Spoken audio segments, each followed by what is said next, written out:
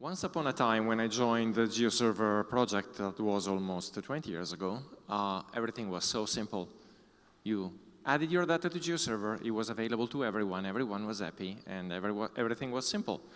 Nowadays, they want to control who gets to see what, when, and, and uh, authenticate in the right way, and things got much more complicated. So this presentation is about figuring out what's going on. So shout out to my employer, GeoSolutions, offices in Italy uh, and the United States, soon to have uh, an office in Dubai as well. Um, we support a number of open source uh, projects and we are core developers in them. We provide support, core development, customized solutions, training, and what, whatever else you might think of around those projects. We strongly support uh, open and open source in various ways. And well, let's get to it. Security overview. Okay, so GeoServer internally is based on Spring Security. Spring is an open source library that is underpinning many, many uh, Java programs, and Spring Security is, well, what powers authentication and authorization. Mostly authentication, to be honest. The uh, security subsystem can be configured both through the web administration interface and through the REST API, and it allows us to secure the data, the services, and the administration of the server. Now, GeoServer Security offers both authentication and authorization, and they are both supported by vanilla GeoServer. So you download a GeoServer without any plugin, it already supports basic authentication and basic authorization abilities. If you need to have more, then you have to install plugins. In terms of terminology, it's the usual stuff, uh, role-based authentication, so we have users, groups, and roles, and then data is uh, controlled uh, access to data is controlled by roles, and access to services is controlled by roles. In terms of authentication, uh, we support out-of-the-box basic authentication, digest authentication, you know, the usual suspects, which are uh, form authentications, stuff like that. And, uh, and then there are extensions to offer other authentication mechanisms. I'll get to them later. And as I said, the authorization is role-based, so all security rules are defined against the, the roles. With some plugins, you can define uh, authentication, sorry, authorization rules against a particular user as well. User groups and roles, how do they relate to each other? Well, users can exist uh, on their own, they can belong to a group, roles can exist on their own, they can be grouped uh, uh, in a hierarchy as well, they can be assigned to users, they can be assigned to groups, it depends on how you want to organize your uh, authorization mechanism. And by default, they are all stored inside the GeoServer directory, but it's not the only way. Uh, you can also have all of this interact with a, an LDAP uh, server, uh, with a directory server of your choice, with um, uh, an external database, with auth, whatever. Um, the extension points allow us to integrate with other providers. These providers can provide a notion about what is a user, what is a role, verify that the user exists and it's valid, uh, and uh, yeah, attach roles to users. Um, and this is uh, a screenshot from the user interface where you define the, uh, the, the user groups and roles.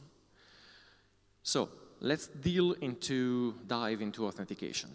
So there are multiple authentication mechanisms and many can be active at the same time, maybe depending on, uh, the, um, on what you are trying to target. Like the user interface can have and normally has a different set of authentication mechanism compared to the services, compared to the REST API, and so on. So depending on the path you are hitting, we can have a different configuration of uh, uh, authentication mechanisms. That list of authentication mechanism attached to a path we call an authentication chain, which is made of authentication filters, which can use authentication providers. And you are probably just losing me right now. Okay, so one by one.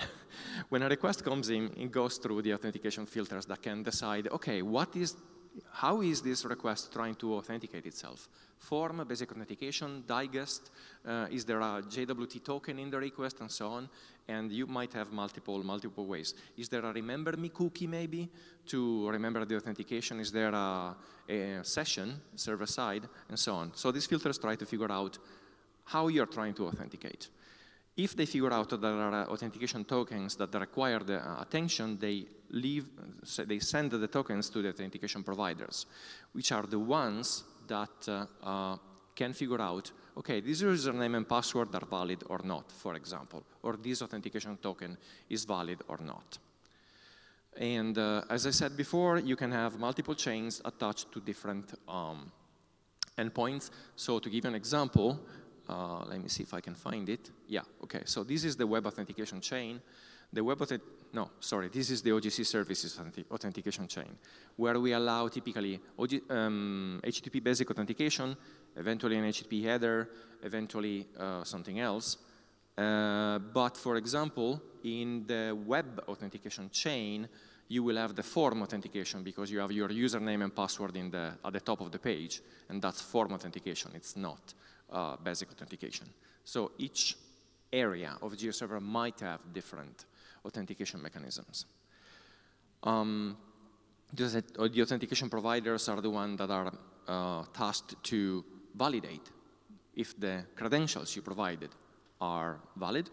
Uh, simple examples are uh, an XML file or a JDBC, uh, so a database table that contain the users and uh, some encrypted and salted passwords so that no one can read them, but just, you know, uh, they are enough to uh, validate whether the, the, the, password that was provided is a match.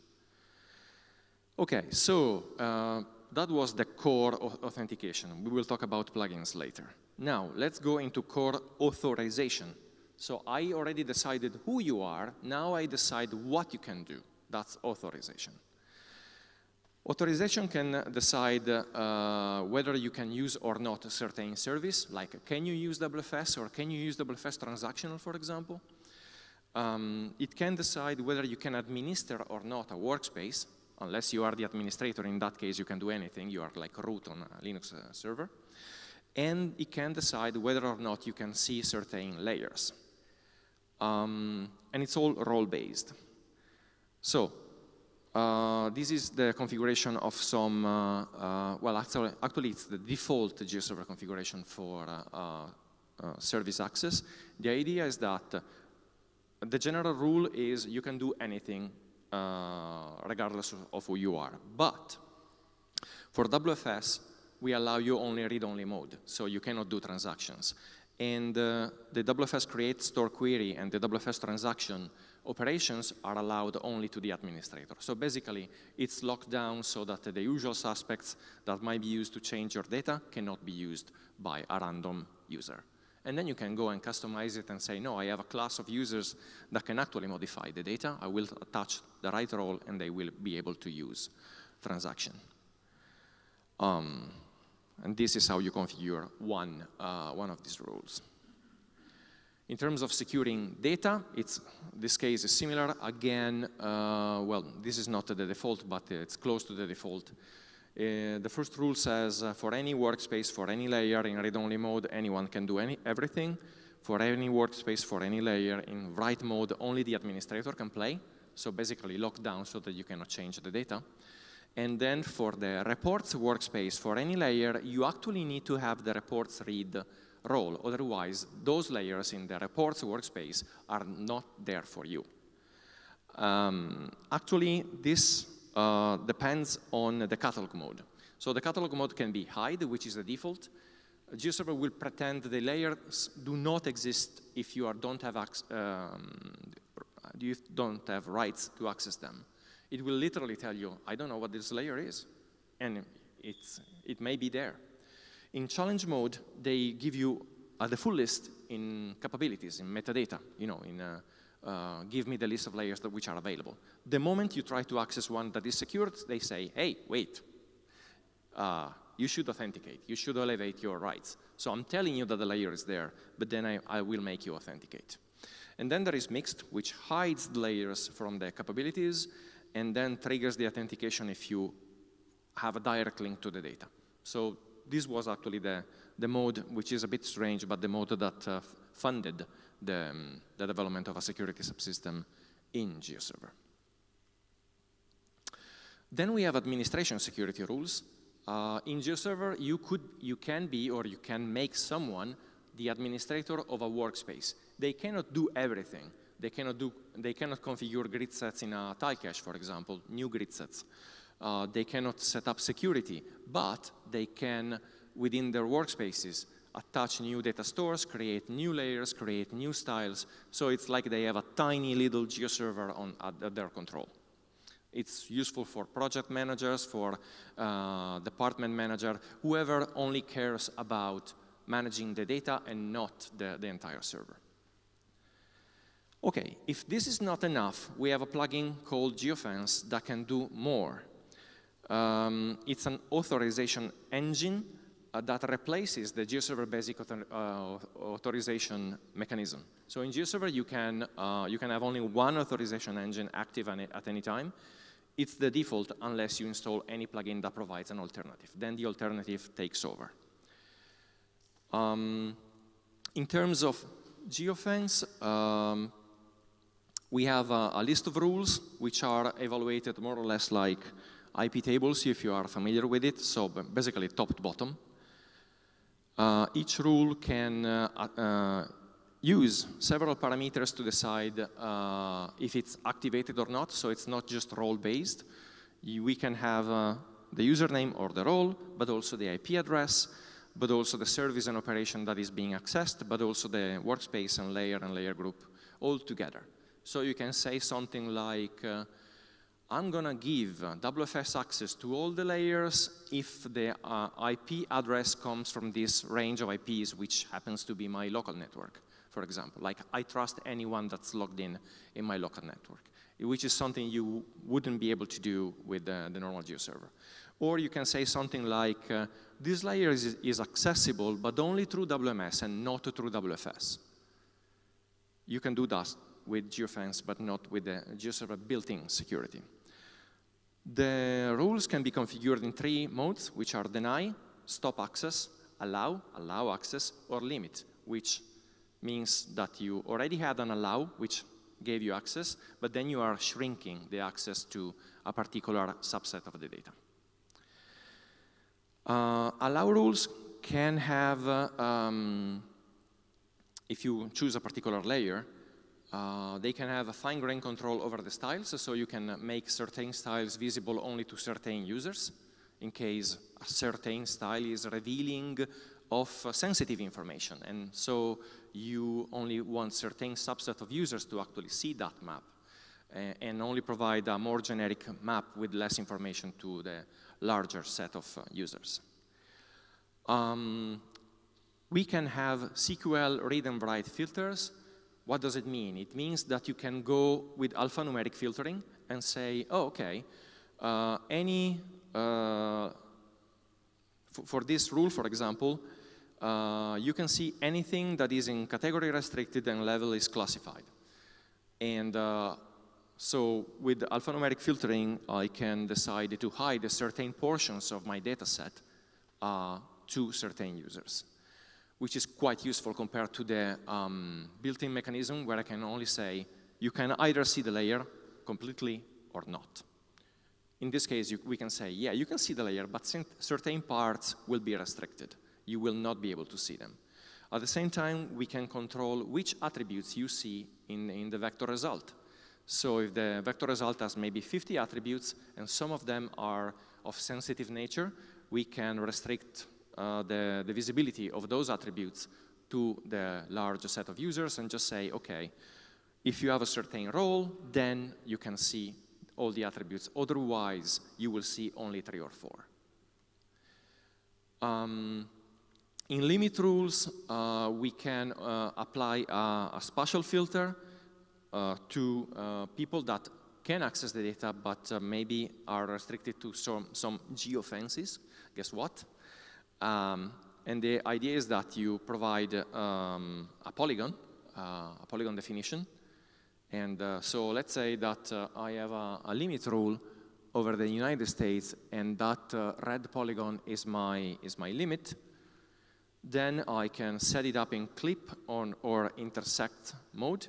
In clip mode, it will actually clip the data over the uh, selected polygon and it will not allow me to see anything outside of it.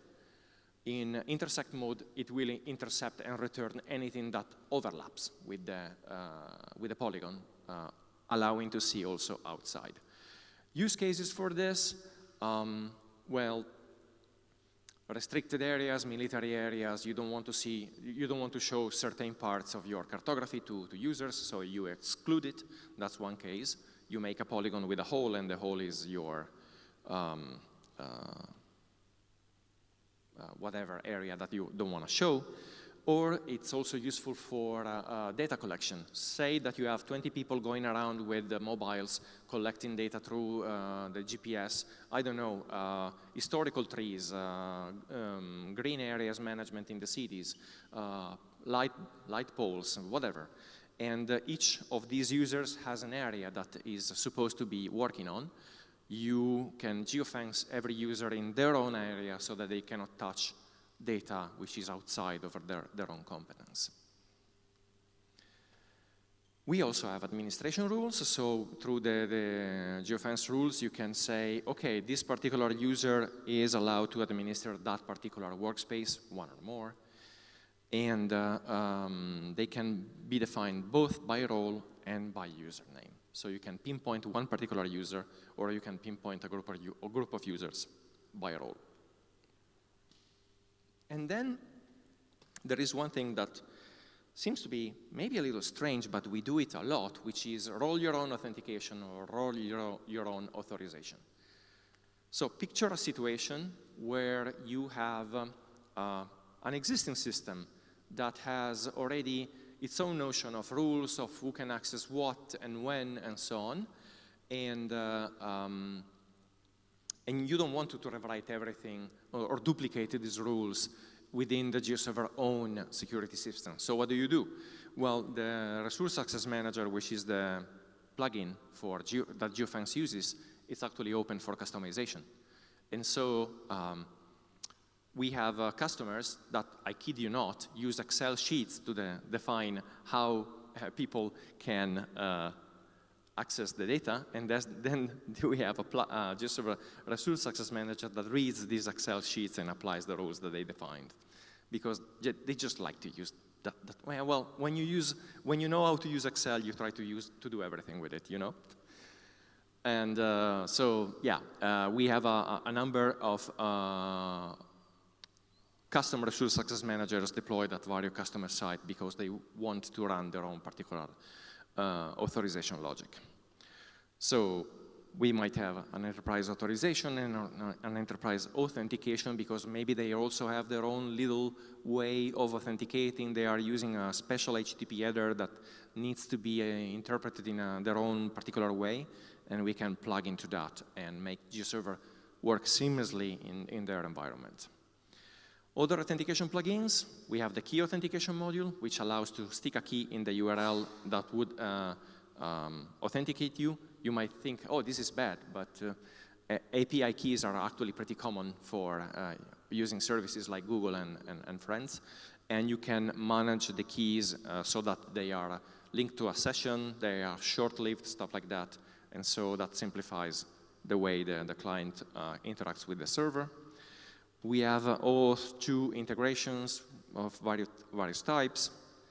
Uh, recently, uh, GeoCat contributed the JWT headers module, which provides a, uh, a good um, uh, interaction with Apache um, Apache does the, all the uh, OpenID Connect downs, then it sets a few headers and GeoServer reads them and figures out who's the user, what are the roles, and so on, just based on the headers without having to interact with anymore with external services. And that's it.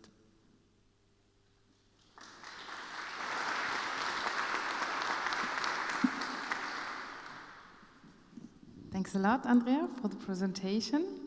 Great. Um, other questions in the audience? There's a question above. Oh, there's another one, yeah, let's see.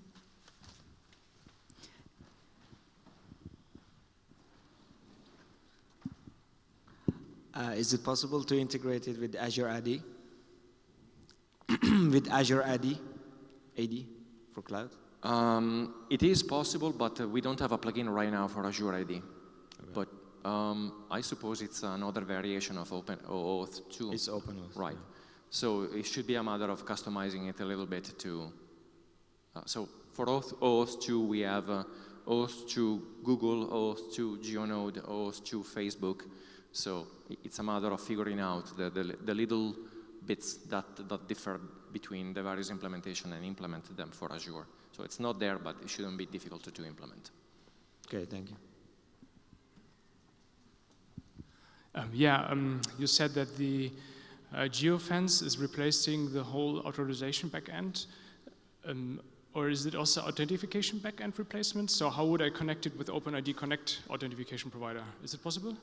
So if I understand correctly, geofence replaces the authorization mechanism. So the, the rules that you might have set uh, for uh, workspaces and layers and services in the basic uh, built-in system uh, are going to be ignored.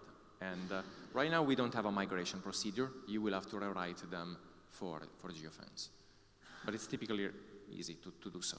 Okay, and on top of that, I could have OpenID Connect as authentication backend too. Geofence is authorization, not authentication. So they are two orthogonal uh, systems. So authentication decides if you are allowed to access and who you are and which roles you have. And then authorization takes over and decides what you can do, what you can see, which operations you can run, and so on. And so you can keep the built-in authentication and run geofence because they are independent.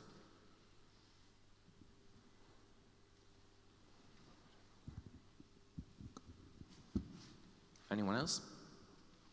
So I have a question. Um, did you already get requests for two-factor authentication? Not yet. Not yet. Okay. And um, another question: Can you describe how easy it is to set up geofence and to get it running with GeoServer? Well, there's an easy way there's a, and there's a hard way. GeoFence can run either as a GeoServer plugin that you just stick into GeoServer like any other plugin, and it's done. Uh, and it manages the rules in, a, in an H2 database, a local database, which I wouldn't recommend for production, but it's really easy to get started with. Like you literally drop the jars, restart, and start figuring out how GeoFence works. For production, you can still do that, but there is one configuration file that you have to modify to make it talk to an external PostgreSQL or whatever database, which is definitely going to be better for production systems. And then there is the really hard version, which is having uh, GeoFence run as an external application that GeoServer talks to. Uh, we use it less and less, but sometimes it's uh, interesting because maybe you have uh, uh, various, several deploys of GeoServer in different uh, domains, and you wanted to have a single authorization server running for all of them. And that allows you to control the rules for multiple GeoServers but it's a use case that's not very common. Good. Are there more questions in the audience? Okay, it does not look like. Andrea, you are at the booth. You are a sponsor of the conference. So if you want to talk to Andrea Aime, you are welcome to see him at the booth. You have some more talks, and we will hear you in a lightning talk in a minute. So another applause for Andrea.